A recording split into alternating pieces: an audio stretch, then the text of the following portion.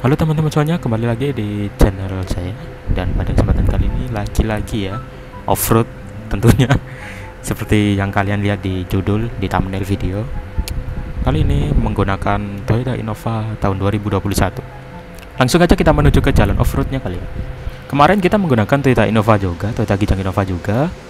Tetapi yang versi generasi pertama Masih belum facelift dan ini sudah Kijang Innova yang versi terbaru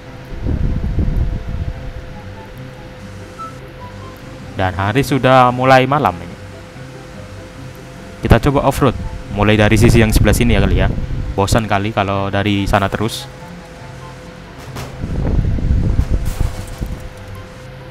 Ya, tidak kuat tentu saja karena pelan. Harusnya kenceng. Waduh.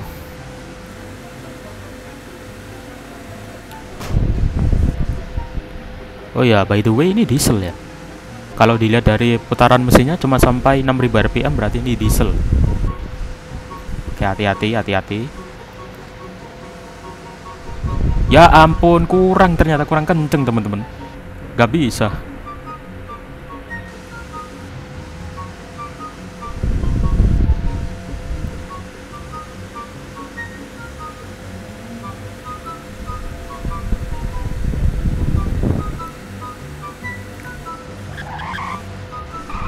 ya ampun. Muter loh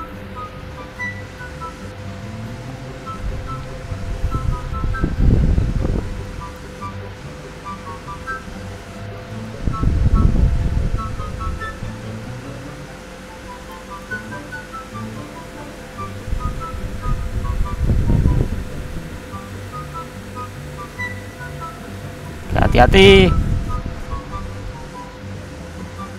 Come on men, aduh tinggal dikit loh. Ya ampun, ngulang berapa kali nih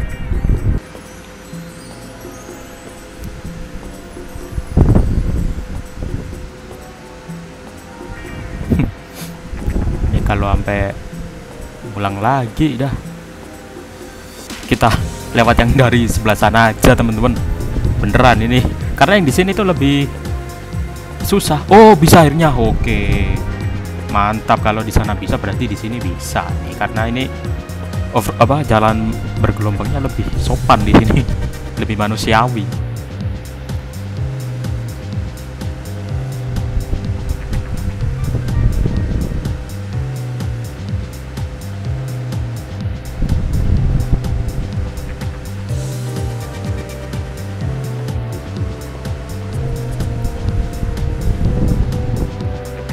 Nah ini bisa nih. Oke. Kita closingnya di deket gerobak ini aja kali ya. Sekali-sekali berbeda gitu loh. Nggak melulu di jalan tol gitu. Kita mundur dulu kan Nggak bisa mundur lihat. Naik segitu aja nggak bisa nih mobil. Oh ini kayaknya bukan mobilnya ini sistemnya ya. Di kurang. Dia masih tulisannya masih beta soalnya. Ah. Ini lama-lama frustasi saya ini. Oke kita naik di atas panggangan aja. Terbakar terbakar. Aduh ya udahlah. Sampai jumpa di video yang berikutnya. Oke terima kasih telah menonton